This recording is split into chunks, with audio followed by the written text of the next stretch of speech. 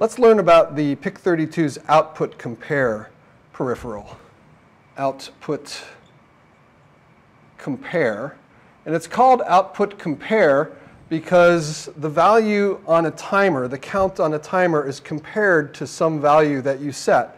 And when those two are equal, a digital output is set to be high or to be low. And with that, you can create a single pulse or a continuous pulse train of specified uh, durations. Uh, the way that we're going to use it is to create pulse width modulation signals, pulse width modulation, or PWM for short. PWM is what's used to control motors uh, by a microcontroller. So before getting into more details, let's take a look at a typical PWM waveform. So there's five output compares on the PIC32. They're labeled OC1 to OC5. So here we're looking at OCX, so x is equal to 1 to 5. And it's creating an output pulse train here that pulses from 0 volts up to 3.3. So let's call this 0 volts here.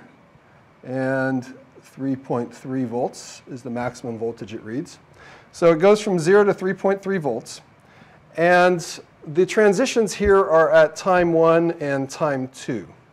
So every output compare is based on a timer. It's called timer Y. So timer Y for us has y equal to 2, so we could be using timer 2, a 16-bit timer.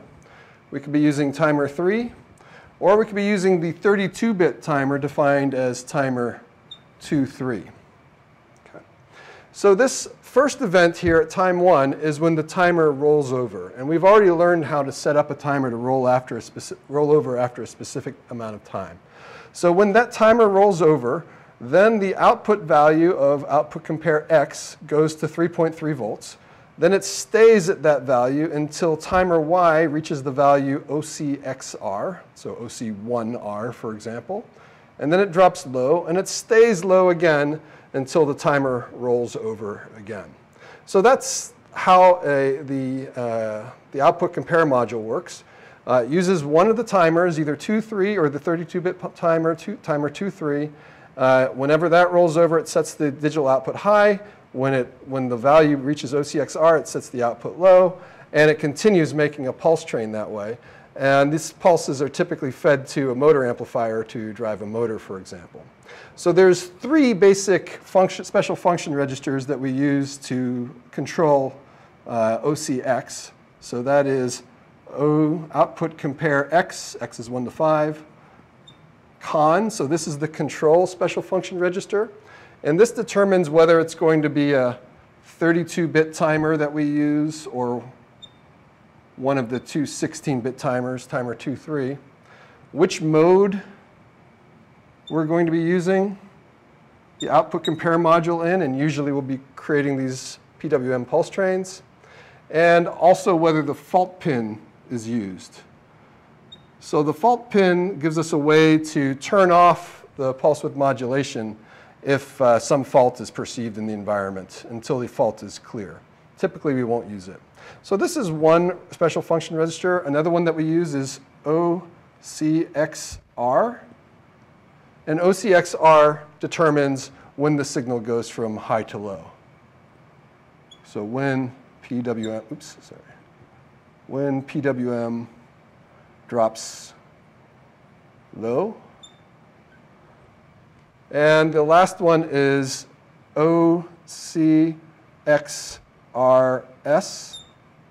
And this special function register has the value that we want OCR to change to on the next pulse train.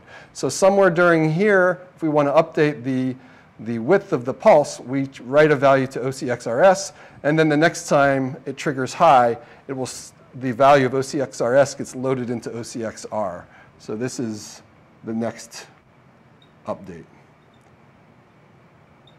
So finally, when we talk about uh, pulse width modulation, we often talk about the duty cycle of the pulse train. And the duty cycle of a pulse train that looks like this is just the percentage of time that the signal is high. So that's equal to what- 100% times OCXR divided by the period register, PRY plus 1. So Y is the timer that we're, we're using. This is the period register value. And the duty cycle is just 100% times the OCXR over PRY plus 1.